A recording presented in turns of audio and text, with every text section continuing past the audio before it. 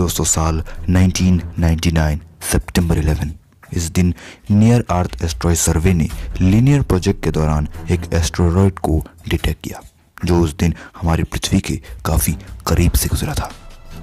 तब उस एस्ट्रॉयड का नाम दिया 1999 आर क्यू पर बाद में इस नाम को बदलकर बेनू रखा गया। दोस्तों बेनू का मतलब एक इजिप्शियन माइथोलॉजिकल बर्ड होता है।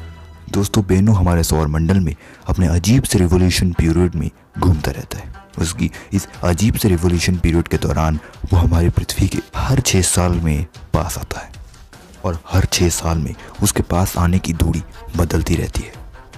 दोस्तों, बेनू के रिवोल्यूशन पीरियड को मद्देनजर रखते हुए नासा ने अपने ओ सीरीज़ नेक्स्ट मिशन को बेनू को ओर भेजा, जिसका मिशन था कि वो बेनू पे लैंड करे और बेनू के पार्टिकल्स को पृथ्वी की ओर भेजे।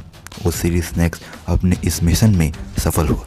2019 में वो बेनू पे लैंड किया और उसके पार्टिकल्स को लेकर उसको पृथ्वी के लिए रवाना कर दिया। वैज्ञानिकों के हिसाब से ये पार्टिकल्स 23 सितंबर 2023 को पृथ्वी में पहुँच जाएगा। वो सीरीज़ रैक्स ने अपने मिशन के दौरान बेनू के सतह की काफ़ी करीब की तस्वीरें भी खींची है।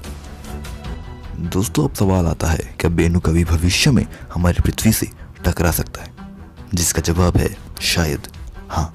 दोस्तों, वैज्ञानिकों के हिसाब से बेनू के रेवोल्यूशन पीरियड में हमेशा बदलाव आता रहता है, जिसके कारण बेनू कभी कभी हमारी पृथ्वी के काफ़ी करीब आ जाता है। दोस्तों, वैज्ञानिकों ने एक डेट को जारी किया है, जिस दिन बेनू पृथ्वी के सबसे करीब आ जाएगा। वो डेट है 23 सितंबर 2060 को। दोस्तों, बेनू 23 सितंबर 2060 को पृथ्वी के इतनी करीब आ जाएगा कि हम उसे एक नॉर्मल बाइनोकुलर से भी अच्छी तरीके से देख सकेंगे। दोस्तों, इस दिन बेनू हमारी पृथ्वी के सात हज़ार पचास हज़ार किलोमीटर की दूरी से गुजरेगा। दोस्तों, बेनू का साइज़ 500 मीटर है। इसका मतलब वो पृथ्वी से टकराता भी है तो ये पृथ्वी का अंत नहीं कर सकता है। पर ये जब भी ये टकराएगा तो एक अच्छी खासी तबाही ज़रूर मचा सकता है।